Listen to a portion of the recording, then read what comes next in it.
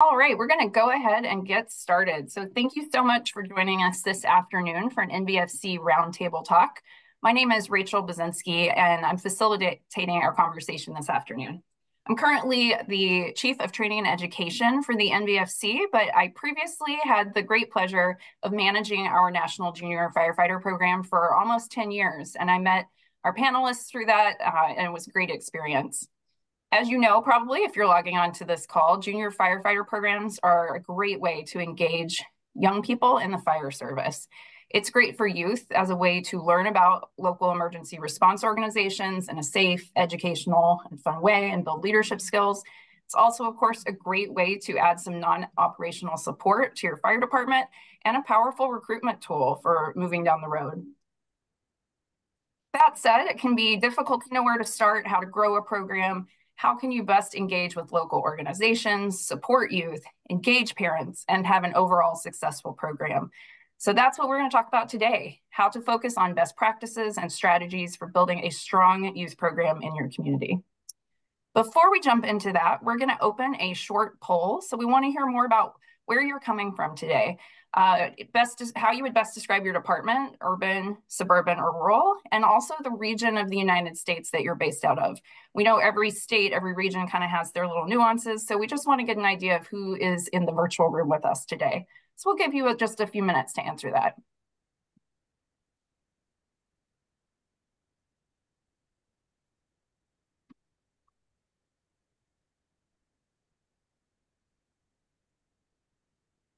While you're answering, we had a discussion among our panelists uh, earlier today about what exactly is suburban, because that can mean a lot of things depending where you are in the country. I'm based in Alexandria, Virginia, just outside Washington, D.C., and it's technically suburban, but it's got a bigger population than you know half of Texas. So um, it, just use your best guess there, what you would define yourself as.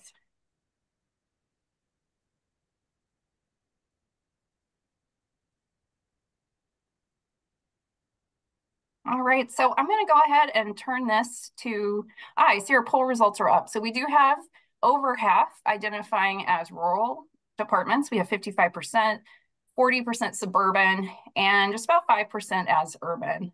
So thank you all for being on, regardless of where you're representing. Um, it looks like a majority is considered Northeast, New England, Mid-Atlantic. We have Midwest, South, and a few people from the West. So thanks for calling in during your morning time. We appreciate you being here. All right, so with that, I am going to go ahead and let our panelists introduce themselves to you. And if you all would just mention too how you would identify your department based on those parameters. And we'll start with Quentin Cash. Quentin Cash, I am a career battalion chief in Shelby, North Carolina, uh, and I'm a volunteer assistant chief in Cherryville. Uh, I serve as the North Carolina director to the National Volunteer Fire Council, uh, representing the North Carolina State Firefighters Association, where I'm a past president. Uh, I grew up in our junior program. I have been through it. I have helped run it. I'm still heavily involved in it. So uh, it's a great program, and we would not be functioning without it. But as far as my volunteer department goes, we are a small combination, suburban, and we are definitely in the South. If you can't tell from my draw. Thanks, Quentin. Jerry, over to you next. Um, my name is Jerry Presta. I'm the program advisor for uh, our junior program in East Norwich, and that's uh, in Long Island, New York. Uh, we're really a suburban uh, department. I've been the the advisor for 26 years. I just started my 26 years. I got involved in the program when my kids came home from school and asked about the junior program at the firehouse. And uh, before I could even ask the chief about it, I was the advisor. So uh, knowing the the importance of the program, uh, even after my kids had left the program, uh, I really need to the, the need to, to stick around because of the importance. And I run a uh, an organization for the entire county of Nassau, which takes into a case of about 900 juniors, and we do programs and and and and things with, with that. But it's a it's a very important program, and we've had great success my chief and assistant chief both were my juniors. So the program works and we get a lot of recruitment from the junior program, uh, most are our offices now. Great. Thanks, Jerry. Looking forward to hearing more about your program. And then last but not least, Ellen. Hi, I'm Ellen Yarborough. I'm Deputy Chief of South Media Fire Company. It's a all-volunteer uh, company of two in a single department in suburban Philadelphia. Uh, I'm also by trade a high school teacher. So I came into the fire service on the heels of my son when he joined when he was 14. I never had any intentions of becoming a firefighter. And uh, and I just really took to it as quickly and as enthusiastically as he did. And one of the things I noticed was that while our school didn't have the means or the ability to fund a program uh, in our school during the school day, we had a robust tech program that wasn't necessarily right for everybody.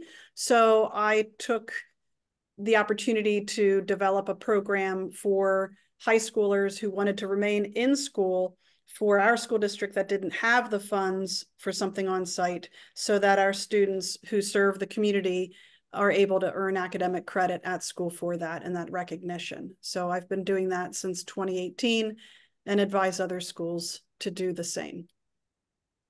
Fantastic. Love to hear about that family pipeline and recruitment kind of working both ways. All right. Well, thank you again to all three of you for being here. You're just experts in the subject matter, and we're excited to learn more from you today. So I do have a list of questions I'm going to be asking, but for our attendees here, please feel free to drop your questions in the Q&A as well. Um, and we will get to as many as we can as time allows. We do plan to wrap up um, at the end of the hour, so 3 p.m. Eastern time. And I guess with that, we will get started. So Ellen, I'm going to go to you first. You mentioned your work with the school districts. So how can someone start doing that? If they're interested in working more closely with the schools, who's the first person they contact? How do they set up a working relationship? It, it's going to depend on the school, the, their local school district or private school around them. Obviously, there was a benefit for for us in that I was already in the school and knew who to go to. But as I advise others, um, there are actually uh, two different uh, roles uh, for um, uh, you know, people to approach in a given school district. And initially, I was going through the guidance counselors because I already knew what we were providing through, or that what the county was providing through the tech school program. So they already had a student profile. Um, but what I have found since that initial contact is that superintendents are increasingly looking for a way to um, bolster the, the role that students play in the community. Uh, there are pathways programs to graduation for students who aren't able to be successful in the standard curriculum. And, uh, and a lot of schools don't have those county resources. So the schools are really scrambling, districts are scrambling to find opportunities for students to get out into the community uh, and be productive. So that partnership I'm finding um, and that initial contact with a superintendent and a, a, department chief is proving to be a really fruitful one and much easier than I anticipated happening. I always saw superintendents, even my own, as being big picture people, um, but there's there's that pressure to provide every kind of kid that walks through the door equal opportunity for um, for advancement and success at the high school level. So um, that's a great first go-to. And then for the day-to-day -day operations, normally it's a guidance counselor who's going to be your go-to person. That's great feedback. Uh, Quentin, Jerry, have either of you had experiences working with the local school district? Yeah, we do most of our recruiting uh, through the school, and we get uh, major participation uh, through the uh, the principals. We have uh, you know lower lower middle and and and, and high school and we'll go into the middle and high school uh, to offer programs on fire safety. But in the you know in the, the back end story, we're really trying to recruit for the junior program, which we find very very successful. Uh, we usually go to the middle school. We start our program about 12 at 12 years old. So we'll go into the middle school, which is sixth grade, and we'll pitch it to them. And we walk out of there um, with minimum uh, six to eight kids every time we go. So we don't go every year. We go like every other year. Um, but they bring their friends in and um, and this the superintendent, like you know, Ellen said, um, like we were honored to receive the NVFC uh, Program of the Year uh, last year, and we actually invited the principal and the superintendent to the ceremony, and they came and you know they see what their kids actually are part of. So it was you know we get a very major support from the school system. It's a great idea to loop them into your success and really show them what's happening. Definitely. Quentin, did you have anything to add? Nothing other than what Jerry already said. Uh, and yeah. one end we found, which I'll talk about later, is uh, the coaches. The high school sport coaches have been very beneficial for us. Okay, so it sounds like there's a couple of different um, ways to go about this. Ellen's is more of a formal program that is you know, skills training, whereas Jerry and Quentin is more of a recruitment tool through other outreach. Okay. So Jerry, coming back to you, um, I know you were mentioning how much you've done with countywide programs. Um, with some of the bigger picture, I know you've worked with your state association too. So how can people connect with regional and state associations to promote junior firefighting? Well, we usually promote different things around the state and we'll advertise like especially through our New York State Association they do youth days which are simple you know stretching hose line stuff like that and they'll do it around the state. So we try to connect with them. We try to move it around to the different areas that you know the average person since it's a day a one day program to no more than like traveling two hours. So kind of geographically you know space them out and get them more and more involved and give them things that they might not get in their own department. That's the biggest thing the diversity of the training. You some departments might not have the capability of doing some training but they can go to an, a neighboring department which i will go like an hour away to a neighboring department and they'll see different types. And even if it's the same type of training it's just a different reach on how that department does it.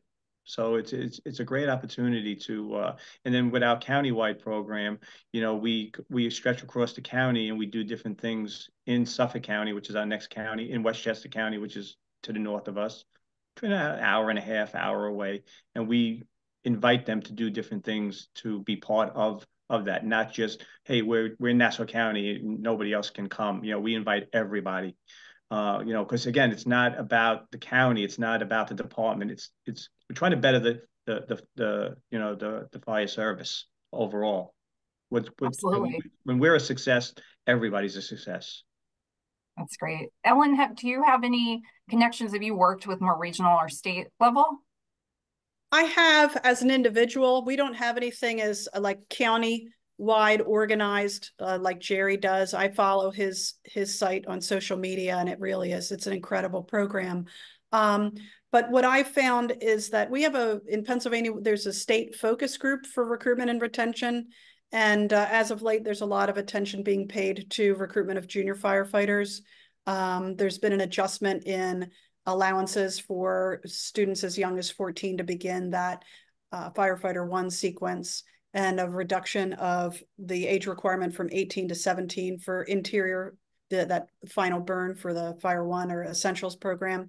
So there's been some big changes uh, and uh, there's also been opportunities. Pennsylvania has a um, fire and emergency services uh, nonprofit organization which seeks to promote the fire service throughout the state and they highlight people from different counties to then come in and kind of cross county work participate in things like a webinar or a podcast and the like so we've been doing it that way but there's nothing as organized or so organized on the state level specific to junior recruitment and retention and Jerry, I did see a question pop up about the youth days. Someone asked if those are um, recruitment activities for junior members? Are they used to promote camaraderie among various junior programs?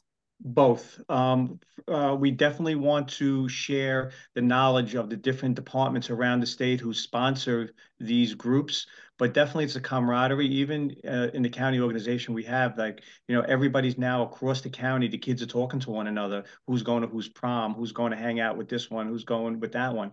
Something we never had before because you know our old you know the bay doors are down that's it you know this is our department and you know we, we don't cross the line of going outside you know now we're actually talking and we're, we're sharing ideas and going to different firehouses and and seeing the different things but the, the youth days definitely are are are shared to promote camaraderie um, I know with FASNY, what you know, you have to be a junior to actually participate. You just we don't, but we do hold um, different things around the state, like firefighter for the day, which is almost like a mini open house where you can you get the people in and then you know we can do different things with them in an individual thing around each department but the youth days yes i mean they're very successful they're always booked i mean we have anywhere from 40 to 60 to 100 kids on on each of each of these events. And there's usually around New York State, there's about about four to five a year. Okay. Yeah, and Quentin, I know you're involved at the state level in North Carolina. Is there connections for the junior program at that level too? For the junior program, we really don't do a whole lot uh, statewide from the state association. What we do is legislatively trying to get in and get the laws changed. When people bring us ideas of, hey, like Ellen was talking about, 17 year olds, 16 year olds being able to participate. That's our big role from the state association side and pushing the NVFC junior program, which we've been doing for years because we helped build that program 15, 18 years ago when we first started. Uh, one below us, our neighbors, the South Carolina State Association, at their annual conference, they have a junior competition. Uh, and it's very cool to go watch at their annual conference. Uh, we've been down there the last two years because we have a good relationship with South Carolina, and their board attends our annual conference, and we attend theirs. And it's something that we're looking at maybe putting in North Carolina in the future. But uh, currently, all of our stuff's done at a uh, local or county level. Okay. That's really interesting to hear about. We'll have to keep updated when you're adding yeah, that. Really, that sounds well. uh, pretty cool. Yeah. Good. Well, something that you kind of mentioned with the youth days, Jerry and Ellen, I know this is really important to you, is bringing in juniors from a lot of different backgrounds and really making the program open, appealing, welcoming to kids from all different backgrounds, um, you know, diversity, socioeconomic, all those things. So Jerry, you know, I know you have a great success story with your all girl board. Do you have any advice on how you've made that really open? And you want to tell people a little bit about that? Well, uh, as the association, um, we have it's run by a board of juniors, and we kind of oversee them. Um, so there's six different departments that make up the board: vice presidents, treasurers, and everything. And um, they run for positions, and the female population has gotten has grown as far as wanting to participate, which you know, which is great. We used to have to go and beg for people to run for positions. Now we have people running for multiple positions, two and three people for each positions. Our elections are like two hours long, which is fine with us. And um, you know, last year, you know, everybody put their name in a hat and did their little speech and went to the elections and everybody got elected. I got the names and I'm calling names off. And as I'm reading them, I'm like, these are all girls. And I got to the last one. I go, we got a full board of girls here. I said, this is this is great. And uh, you know, uh, we swore them in, and uh, we had one of the best years uh, last year, um, and we're looking forward to it. You know, another year. And even in the uh, the installation dinner, when we swore them all in for for this year, I didn't want to slight the other 17 past years. Um, but it was really great to have they they brought a new energy to the uh, to the association and uh, we really got a lot of stuff done and they were very well respected and they, they ran very professional like what we expected. And uh, it was it was great. And you know we're, we're and because of that we're holding in April our first all female training uh, seminar uh, that we're going to be holding at the fire academy. We have uh, speakers, all female chiefs, uh, EMS chief, fire chiefs, and we have the second FDNY battalion chief ever is going to come down and speak to the girls. Uh, and then we're going to do some evolutions in the afternoon. That's really fantastic. I'm curious, did you was there anything out of the ordinary that you did leading up to that to really create that welcoming environment or was it just natural and... it was just natural because okay. i mean the association's been around since 2006 and they've all worked together they've all you know and they do trainings together and we split them up purposely you know where we, you know we won't stick like 15 girls in one squad you know we divide them up that they intermingle and some like, oh, we want to be with our friends. I said, listen, you'll be with your friends, but you know, when you go to mutual aid, when you join the department, you got to learn to work with other people. So here's a perfect opportunity to meet people because you're going to go on a mutual aid. You're going to be right next to a firefighter that you don't even know, but you have to work together. Yeah, that's a great point. And Ellen, I know you've talked about this aspect in some of the the training that you've done for us. Did you want to add anything? Well, sure. And when I'm speaking today, um, it's important, I think, that I, I distinguish between programs. So Pennsylvania has uh, the county technical high schools. So I, have mentioned that. So and and ours is a particularly robust one, and the current um, firefighter and instructor who's now leading that has done just an amazing job of bringing in kids. He's got his largest group ever, um, and that's been around for a long time. There's lots of chiefs in the county who came up through that VOTEC system. My program is those other kids, the kids that aren't going, you know, half a day to a tech school or or have something in their school where they have an emergency services course, you know, as part of their regular school day. So we kind of pluck kids one by one um, into our membership. And uh, our, our best tool has been our existing members and our social media. So if we have one female, guess what? We're putting the female, the young ladies in pictures. Um, and last year, uh, we had a particularly robust group of juniors in terms of uh, diversity in that we'll count Colombian American, Indian American, Chinese American, uh, and all three of those are first generation. And then uh, we have African American, and then who we normally see in suburban Philadelphia firehouses, and those are are white kids you know, like my kids. Um, and and and that even seeing one person who looks like me remotely like me has skin tone that's offset like me i'm more likely to join that organization. So um, just by nature of the beast now that that kind of rolls itself we don't really have to keep doing that. I just keep our social media present with our current members throw in pictures of our former members and, and it's always demonstrating that we're accepting of everybody um, and it hasn't caused any issues. I, I know some people are fearful to make a big change. Well, we don't, we've never had a young woman in our firehouse, or we're an all white firehouse or an all black firehouse. How are we going to adjust to having somebody that doesn't look like them? Um, and it certainly hopes to have or helps to have open conversation when it comes to that. Yeah. And I feel like we can learn so much from the youth are so adaptable. They'll just say, all right, let's go train. So whoever you are. That's um, I so I just want to shift gears a little to keep us moving along. So Quentin, I'm going to ask you if you have a great success story from your program or department. Just just a couple of quick things, Rachel. Uh, Jerry, Jerry hit on one of ours with uh we have had two national firefighter junior firefighter of the year through the NVFC and one program one year. So that is big to take them up there and get them to experience the spring meet and get the awards. That's a, a uh, big success for them and for our department and for our state, really. Uh, and we tout that statewide, so that's success. But uh, earlier I mentioned when they were talking about teachers and principals was coaches. Uh, a recruitment issue. We were, you know, we were a family run fire department for years and years. It was all family members. Their kids were the juniors. Their kids' kids became the juniors. So it was a common cycle, but we started seeing that fall off. So we started thinking, how can we reach out to uh, get some more juniors interested? And we put our minds together, and it come to talking to the coaches because what is fighting fire like? Fighting fire is like being on a sports team.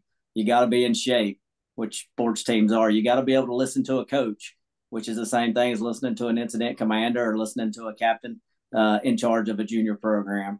You've got to be able to work as a team for a common goal, which is what sports is and you've also got to uh, build that brotherhood and sisterhood which is what sports does. So it's just such a common connection for us especially now when we built our new station in 2008 we built it across the street from the fire department i mean from the high school football field and baseball field put their mascot on our patch and actually our station colors are designed around the school colors.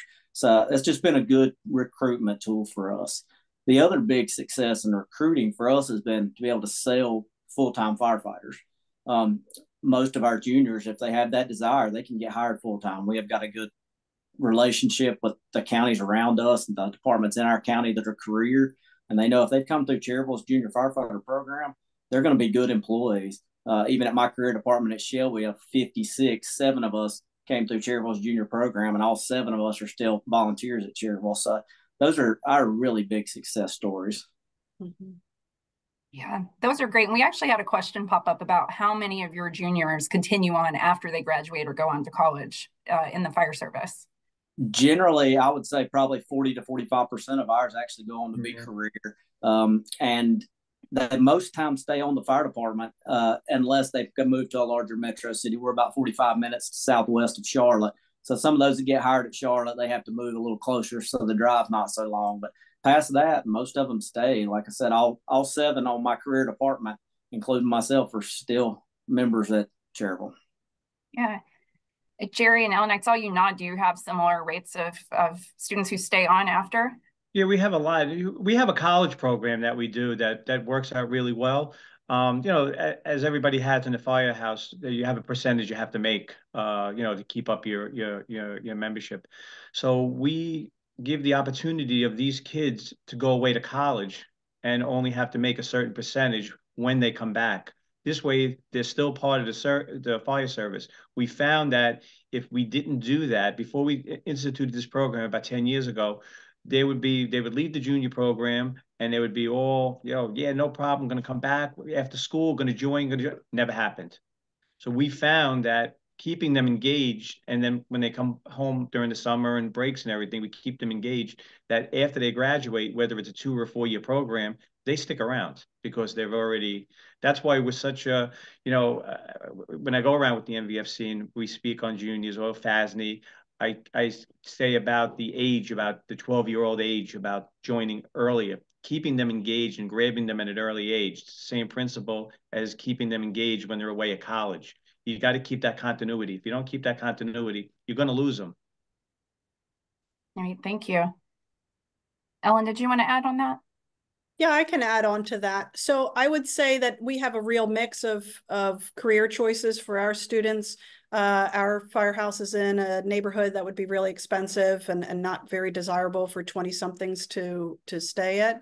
So we'll lose a lot of students um, yeah. when, upon graduation. When that happens, obviously it's it's a little bit sad, but what I say is somebody's going to benefit from these kids, even if they don't return to service. We do have kids in, in career now, fire, um, but we also have students who then go on to college and they're part of their college EMT crews. We have students who uh, then went off to military schools, both to uh, one is becoming a pilot now. The other is entering the Naval Academy. So uh, I've written letters recommendation. I've fielded calls from people at police academies asking about our juniors. So um, wherever they go, they seem to be heavily involved in some sort of public service, health and human services, if not the fire service. So it's it's it's kind of I, I think that's a win either way um, if they're still people focused and community focused wherever they go. Well, and regardless, you've got people who are future residents of your communities who understand the value of the fire service and what it's contributing and where to find their local fire station. Without a doubt. Absolutely.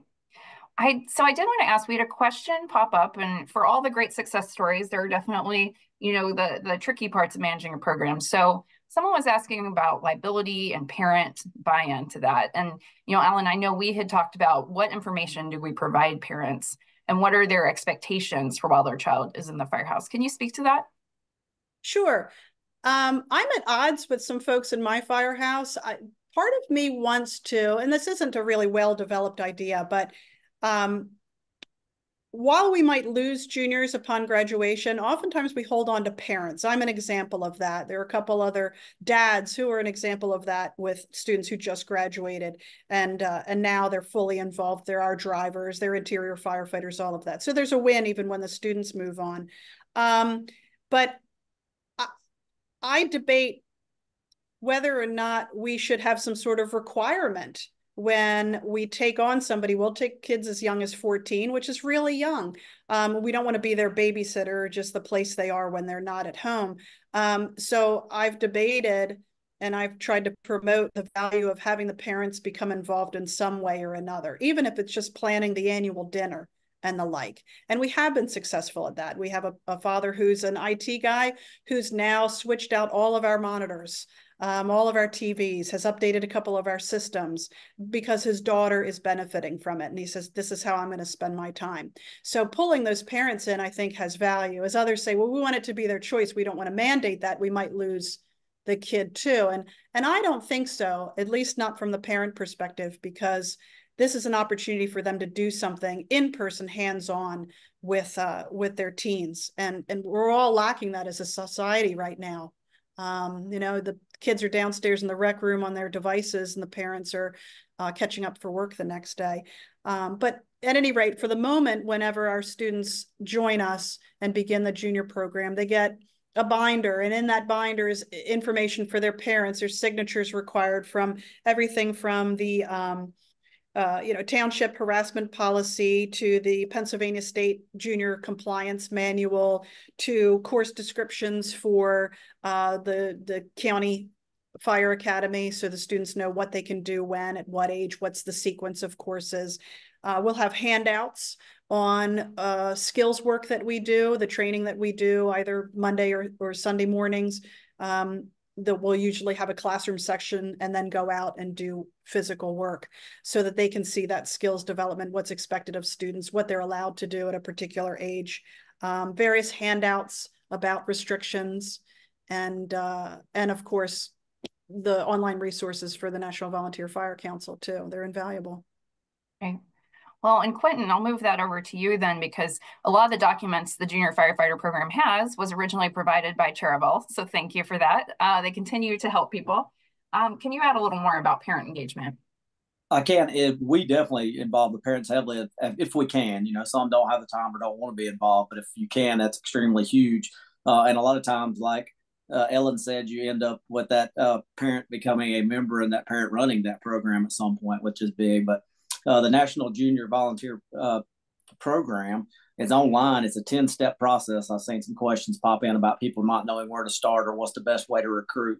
Uh, this is the second edition of that program. It's probably about 30 pages long, but you should definitely give it a check if you don't know where to start because it talks about securing department support because you got to do that first. And then assessing liability. Somebody was asking or talking about liability, you know, finding out what you can, what you can't do. Is your insurance company going to cover you?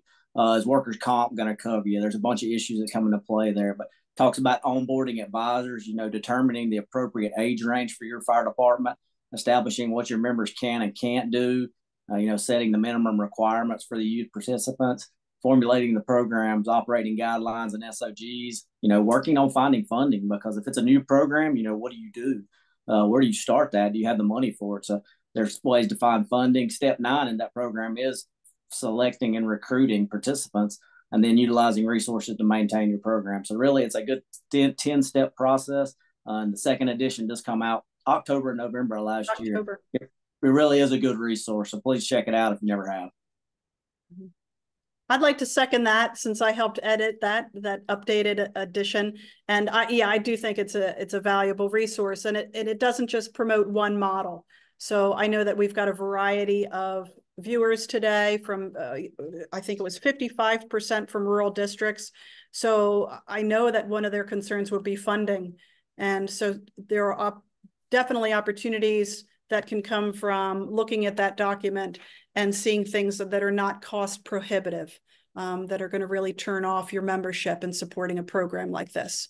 Uh, not all of us can have really robust county-wide programs sometimes we have to just work with the the 25 people that we have racks for in our own stations.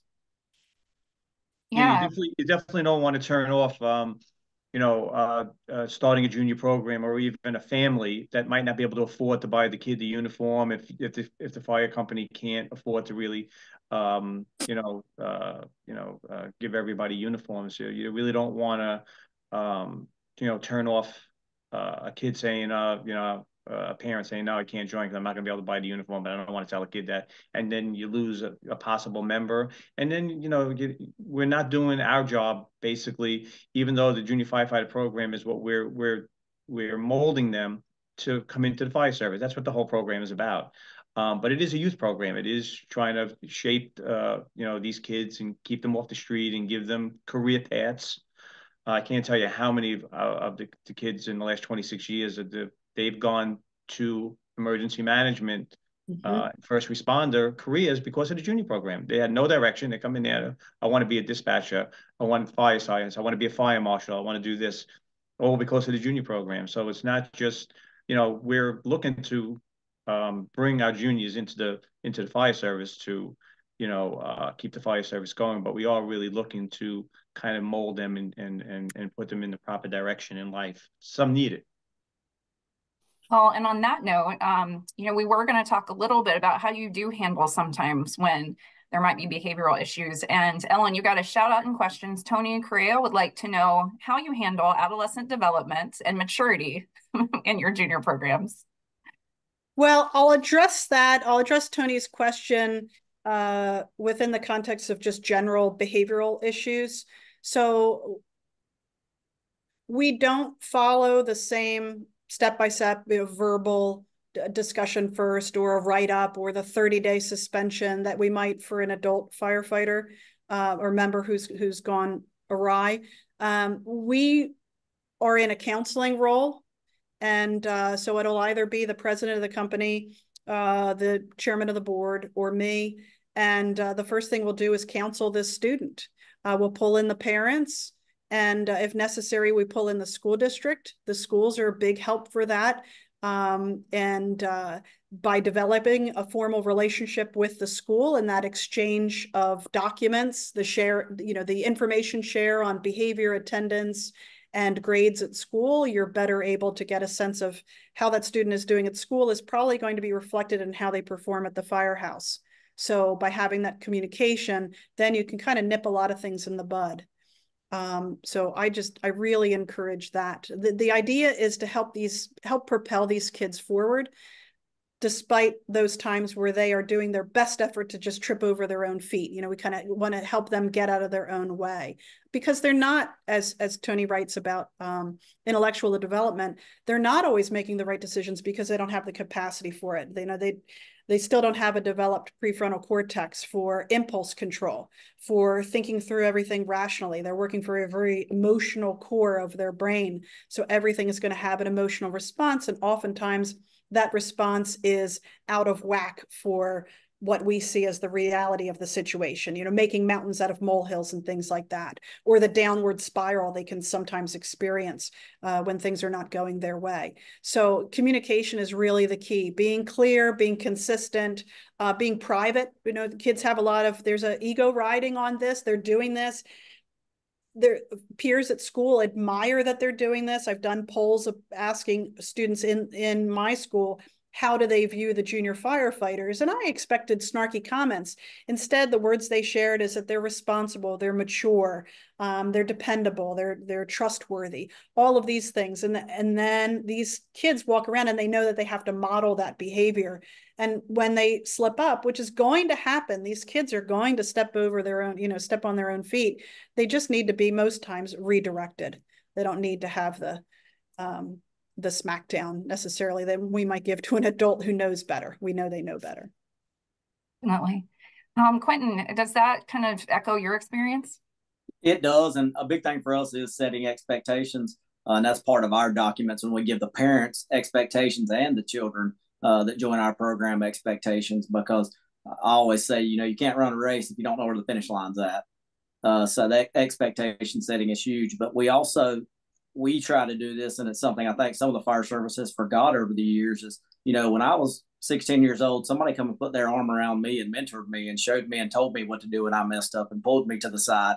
I don't think we're doing that enough in the fire service right now. And we, especially in junior programs, have to be the people stepping up, taking the lead, being that mentor, being that coach, and helping these individuals grow because uh, Ellen's right. Even if they don't stay in the fire service, they're still in our community and we want them to be good members of not only our community but society as a whole. Yeah. I'd like to address one of the questions that was asked. Uh, Timothy Hoffman asked, how are you navigating working with schools with FERPA and other privacy laws? So FERPA is the Federal Educational uh, Educational Rights Protective Act, I believe. I'm a teacher and I should know that. We just call it FERPA. So privacy laws for students. Um, that's the benefit of having that developed relationship with the school district. Uh, my school district, my my teachers, my peers will help recruit kids for us. They'll highlight kids themselves. So if in our packet of information, we ask the parents to sign a release, we note information that is mandatory, which would be behavior, grades, and attendance. And then we'll also note other things. Are there medical issues we need to be aware of? Are there medications that your child is taking that might impact their participation in certain activities? And it really behooves these parents to be honest because we want to keep these students safe. And school is their job right now. The firehouse is extra. That could be their job down the road but we want our kids to be successful in school then they feel good about themselves. They come to the firehouse and they feel good about themselves. And of course legally if a student is calling out sick from school they can't be showing up at the firehouse to go on a call. Um, so that relationship is good not just for the fire department or firehouse but for the school district as well. And if the parents are willing to sign off on that then there shouldn't be a problem. It's, it says our schools are not willing to work with us in recruitment, behavior grades, etc., with FERPA violations. So they're concerned about their liability. But if the parents are approving that, if your your organization comes up with a form that provides you know clarity of information and this is what we'll ask for and the parents are okay with that then you're off to the races right and Jerry, I wanted to come back to you as well. Do you have anything to add on this on behavioral issues, uh, mentoring, kind of like steering the direction of our junior firefighters? Well, sure. You know, um, in the application, in our in our initial application, um, we have a medical form that they need to that they need to fill out and get signed off by the doctor to make sure they can participate in this in the different things. They might have health or behavioral issues. So um, so we see if there's any kind of uh, thing uh, that might restrict them from either joining the program or being able to participate in in certain activities. And the biggest thing that we do is that if somebody wants to join it, whether the kid contacts the firehouse or contacts uh, us through another kid, we make sure that the before we even have a conversation, the parent comes up to the firehouse with the child, and we sit down with the other advisors, and we explain to them what the program is because a lot of parents don't really know what the program is about. Um, and there are parents that they, oh, you want to join? Yeah, go ahead. And, and, you know, they'll just go ahead. You you got them for two hours for this Friday. Um, so we really make them understand what they do. And our biggest thing is like um, they'll learn from us as well as we'll tell them, look, go on social media, go on uh, this, see what we do. And a lot of parents are shocked. I mean, before all the, like I said, I've been doing it for 26 years. Before social media started, we used to do a PowerPoint at the we we had like a mini installation dinner. We would swear the kids in once a year, but we would show a PowerPoint, and parents would come up to me and it goes, "I can't believe you do this stuff. This is great." He goes, "Every time my kid comes home from juniors, I said, what do you do?" They go, "Nothing," you know, and you know, this, this I can't believe the stuff that they're doing. They don't, you know, so they don't. What goes on between parent and child? Like I have three kids, so I know. Um, but we have a very open uh, dialogue between the parents and ourselves and the other advisors. This way, they, they totally know and understand what they're getting involved in. And as far as behavioral issues, most of the kids, and I think everybody kind of agree, anybody who really gets into this program really wants to be there. There are very few kids that are really pushed in by a parent or somebody, oh, go, just go join something. So you know, the behavioral issues are probably going to be minim minimalized. I would say we really haven't had too many issues. In 26 years, I had two instances where I had to call the parents up to sit down with the chief um, after, you know, constantly, you know, talking to the kid and everything. They just didn't do any good. Um, but I'll have parents come up to us or I'll have counselors like at, at the at the local parades. I'll have like, you know, people in the school saying, hey, how do you deal with so and so? He's a handful at school. He's a. I was like, well, I don't have any problem with them, you know. And they're like, really? I was like, yeah. If you institute that a structure, the kids will know how much they can push. All the kids, they're, they're going to test the waters. We do it as adults. Um, but if you really show that there is consequences that you will not be able to participate in the program any longer, or you won't be able to come to a meeting, or you won't be able to do this or go on a certain outing training, they're kind of going to fall into place for the most part. For the for the most part. Yeah, I'm hearing a lot of the communication, setting expectations. Um, it's really coming across that the, this is part of the village. You're not operating by yourself. You're working right. with parents and schools to help guide these young people. Yeah. Um, well, I want to make sure that we have time to address our next question because we're getting a lot of questions in our chat about it too. Everyone wants to know what training are you doing? Um, you know, you've referenced showing these parents what you're doing, but what are you doing in your departments? How are you training juniors, you know, within the laws and restrictions in your state or region? And uh, I'll start with you, Jerry. So we we try to model the training that we do in the fire department. So of course, you know, we can't use the Hurst tool, we can't use power saws, we can't use torches, but we'll no problem putting them in gear, searches, radios. That's they, they love getting on the radio. So we go off a, a, different band and they can talk on the radios. We'll have somebody on a telephone mock a 911 operator, dispatch. You know, we'll go through the actual procedure from somebody calling 911 to a truck arriving on the scene. So, you know, they, we, we do things like that. We put them on the portable ladders. We'll put them on the aerial ladders. We'll put them on the trucks, pull hose, hit a hydrant, different types of nozzles, how to actually pump. We actually teach the kids actually how to pump. So there is an array of things. And I, I write for the FASD magazine, and I just did an article, uh, the last thing saying, you know, we're coming into our winter months. Don't use all your inside trainings in good weather save those inside trainings because you're going to need them. And that's the biggest thing as an advisor, what we struggle with, trying to keep the, the kids engaged, that they don't get bored. Because if you're going to bring a kid to the firehouse and you're going to sit there and lecture them, and Ellen's a you know a perfect example. What do these kids go through? They they're sitting in classroom getting lectured eight hours a day, five days a week. They don't want to come to the firehouse and listen, listen to you know you know somebody else do it for a couple of more hours. They want to they want hands on. They want to do things. They want to go out. They want to you know, mm-hmm. and get them into different activities and not just in the firehouse. We brought our kids bowling uh, two weeks ago. Uh, one of the parents is a manager at the lane. She, she goes, bring him up here. You don't think you have to pay for his food. So we, we brought them out bowling. We got them out of the, the, uh, the, um, the setting of the firehouse, but, you know, once in a while to do fun things uh, that there are other things to, you know, to do to keep them engaged and keep, keep their, you know, their minds going. And it works out well. Mm-hmm. Absolutely. Um, Ellen, how about you? Uh, in line with what Jerry's saying, uh, we're a small company, so our kids are thrown into the mix. Our trainings, uh, if we're out in a parking lot or whatever it might be, wherever might be doing our training, then the kids have an adult working with them on the support skills. So they're going to be setting up the tarp. So the first job they have to have is to be able to identify, find, and understand the purpose of every tool on every piece of apparatus. So that's their role in a lot of trainings. If we are having uh, new drivers do pump ops or something like that, then we have the students out there flowing hand lines, which they love. Um, you know, they're able to, at different ages, perform different tasks. So the 16 year olds are on brush fires or trash fires or car fires and things like that. So um, first they learn how to take care of, or first they learn all the components of a piece of equipment, say an SCBA, and then they're uh, helping maintain those with oversight. And then eventually they're packing up and using that, even just wearing it around before they're then on air performing tasks, you know, the kind of these mock searches and whatnot, um, so that they have a comfort level before they are uh, fighting fire, an exterior fire before they have interior training and then able to do that. So everything is gradual, it's step by step. You start with the simplest things. If we're doing, we have uh, wrecked cars in our back lot to work on as we have a lot of highway responses. So uh, there's a lot you can do with a screwdriver once the Hurst are put away, right? So, and the students love that.